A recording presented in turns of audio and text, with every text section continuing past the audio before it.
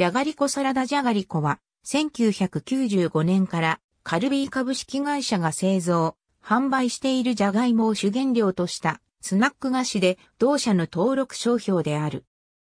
一度孵化したじゃがいもを細い棒状に成形して油で揚げたものでカップ状の容器に入れられている。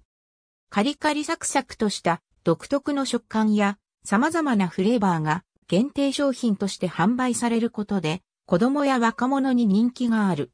年商が350億円を超えるカルビーの看板商品である時点。キャッチフレーズは食べ出したらキリンがない。カルビー初期のヒット商品であるカッパエビセン。1970年代のカルビーポテトチップス1980年代のシリアルに次いで1990年代を代表する主力商品となるよう開発された。当時ルーズソックスで世を席巻していた女子高生を意識し、彼女たちがカバンに入れて持ち歩けるお菓子をイメージして開発された。1994年にジャガスティックを試験販売、そのカップ型で初めてジャガリコが使われた。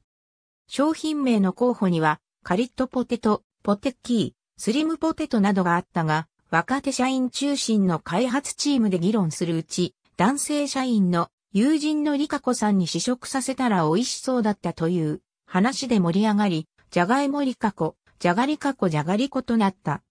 1995年に新潟をはじめに日本全国で発売され、テレビ CM は角田真紀がじゃがりこを連呼したものだった。本格的に売れ始めたのは1997年秋頃からだった。2001年、遺伝子組み換え作物を用いていたとして、回収命令が下されている。なお現在は、カルビーの商品全体で遺伝子組み換え作物は使用していない。じゃがりこは様々な味が販売されている。通年で全国販売される主な味の種類は単色を基調にしたパッケージデザインだが、限定ものには色々な種類がある。食べ出したらキリンがないから生まれた公式キャラクター他に、ジャガリーマン、ジャガタク、グララ、林、愛がいる。ありがとうございます。